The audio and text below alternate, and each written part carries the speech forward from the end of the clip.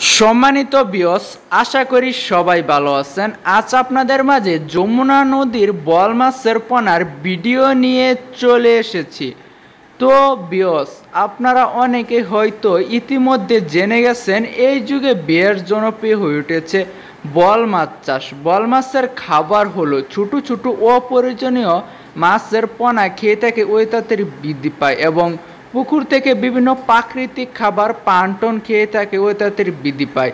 আমাদের শরীরের বিভিন্ন পুষ্টি চাহিদা পূরণের জন্য প্রাপ্তবয়স্ক বল মাছ খেতে ভালো বল মাছের বাজারেও রয়েছে প্রচুর চাহিদা। অন্যান্য মাছের তুলনায় ভালো দামে বিক্রি করা যায়।